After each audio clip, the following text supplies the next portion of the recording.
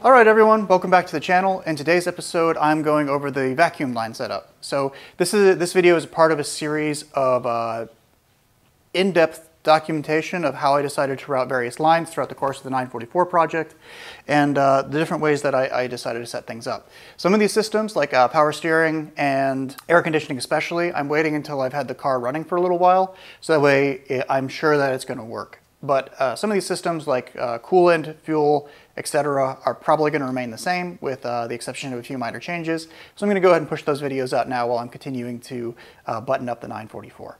In today's episode, we're going over uh, vacuum lines. To do this, you're going to need a, a uh, couple of things. Um, first of all, you're going to need to have the lines themselves. I ordered these. These are silicone lines from, uh, I can't remember where, I'll put in a comment down below. And there are two sizes that I decided to go with. One is uh, 1 8 inch uh, for an interior diameter, and the other is uh, 3 8 inch. And that's probably going to get most of what you need done. Uh, I think I ordered like maybe 10 feet of the 1 8 inch and uh, 5 feet, maybe less, of the uh, 3 8 inch. If you are concerned about heat, there are uh, fiberglass covers that you can put over top of your uh, vacuum lines, which also sink heat up. So if you're running natural or uh, running, so if you're running a turbocharger, uh, that might be a good thing to look at.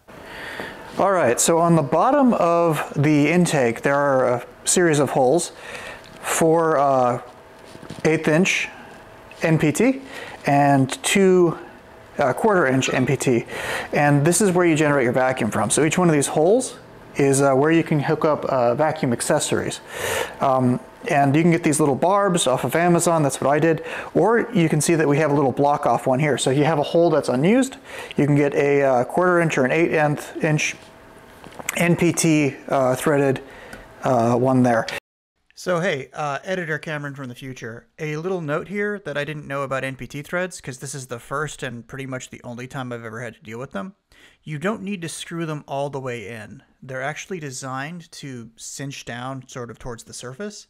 What I did was I actually tightened them too much and then they wouldn't continue to screw, and I actually ripped out a bunch of the threads in the intake. Fortunately, I had Spencer here for the week, and he was able to help me uh, figure out how to retap these so that way they could be used again. But NPT is is a very different thread pitch and design than all of the other stuff that we've been dealing with so far. Not 100% certain why NPT was chosen for the threads on these intake holes, but just keep that in mind. You don't need to drill them all the way in. You'll have to forgive my intake. I'm having trouble taking it all the way off because of these plugs, and I don't really want to force them. Um, so this is going to be a little bit difficult to see. But um, vacuum is generated out of the bottom of the intake here. You can see there's six slots. So if you have six accessories you need vacuum for, uh, these are what you're going to have to use. There are two quarter inch uh, holes. These are quarter inch NPT. So you need to have an adapter. In this case, I have this one plugged off, so a quarter inch NPT plug. And then we used thread sealant around the outside of the threads to make sure that we're not going to have a vacuum leak. Um, the other quarter inch NPT connection I used comes to this 90 degree 3 8 inch connection for one of those hoses that I suggested. And it goes all the way to the brake booster. The uh, brake booster on this one actually broke and I had it replaced and uh, that is the connection which will provide vacuum to make it sure that you can brake. So this one's pretty straightforward. It's right at the back of the intake and it points almost directly at the uh, brake booster there.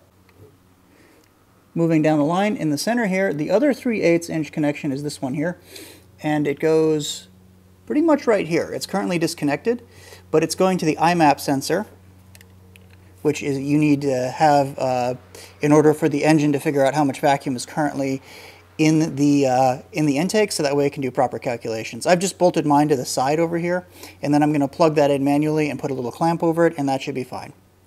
Other people have put this uh, this little IMAP sensor elsewhere but I have these these screw holes and it's tightened down and it's not going anywhere so that seemed to be just fine for me. That's two out of four done. All right, the uh, next one is the center one and it's this uh, this 1 8 NPT 90 degree to 8th inch connector and it's, uh, it's a 90 degree one and it's going straight through the top of the intake. If we follow it here, you can see that it's routed over the top of the fuel line and then goes all the way It goes all the way into this vacuum hard line that came stock with the 944.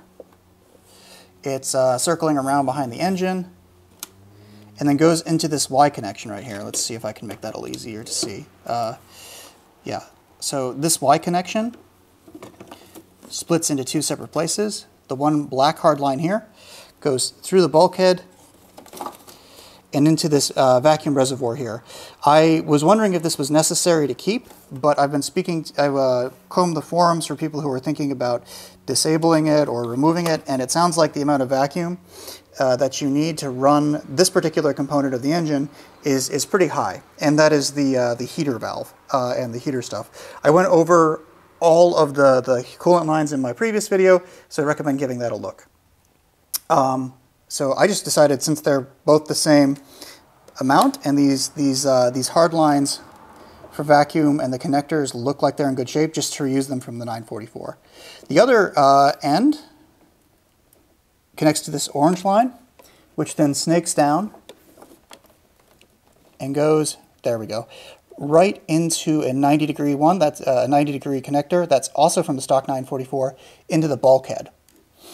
So that is uh, the connector for your vacuum into the cabin, and then it comes back out, and you can see the blue line there that is, uh, that is snaking back out. So if you have, if you turn on heat in the car, it, uh, it will either disrupt or, I think in this case, yeah, I think it, it disrupts the flow of vacuum, which engages the vacuum heater valve uh, and then opens up coolant to flow through the cabin itself, where you get, and that's how you get heat. So then uh, that silicone line, that, uh, that 1 8 inch one, circles underneath the car, and you can see it snakes its way down around the starter and into the heater valve. Uh, and that is the connection. So it goes intake, around the engine, into the uh, bulkhead and into the vacuum, uh, vacuum reservoir, and then down into the heater valve itself. So that's the full connection. Finally, Finally, the last vacuum line is this one right here, and this is another uh, eighth inch, uh, and it goes to a 90 degree, comes, uh, points straight to the, uh, the firewall, and then circles around to the back of the engine, where it connects to the fuel pressure regulator here.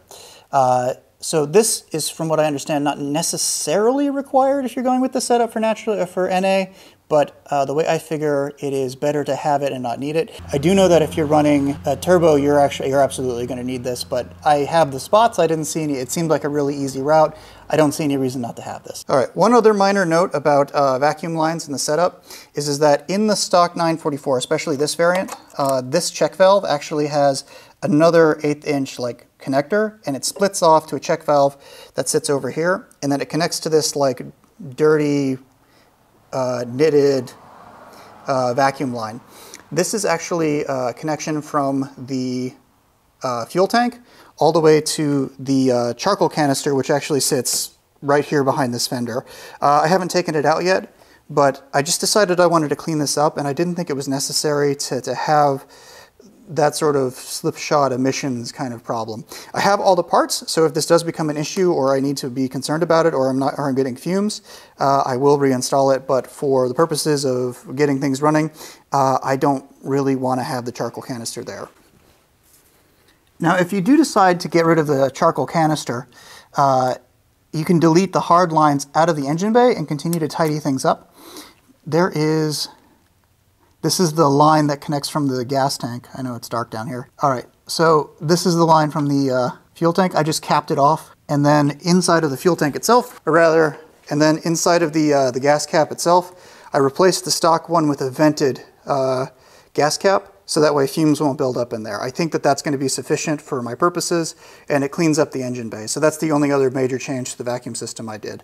Uh, this ventilated gas cap, you could get it off of uh, Parts Geek for like $5 and it fit perfectly. All right, everyone, so that is my setup for uh, vacuum lines. If there are any changes, I will be sure to address them in a later video.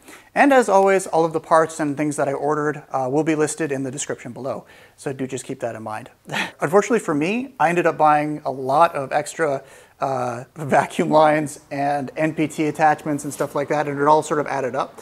So hopefully you're going to be able to use this list if you're planning on uh, implementing a similar setup, so that way you don't make the same mistakes I did. A big one that comes to mind is a lot of the, uh, the first adapters that I bought had these straight barbs down, but that pokes into things like the uh, coolant flange and other things, uh, like the top of uh, the top of the alternator. So you're not you're going to have kinked lines. So I'd strongly encourage you to always go with a 90 degree uh, connector, not a straight one. So, all right. That is everything from me today. Don't hesitate to hit me up in the comments if you have any questions. I'll do my best to try to answer them. And I will see you all in the next video.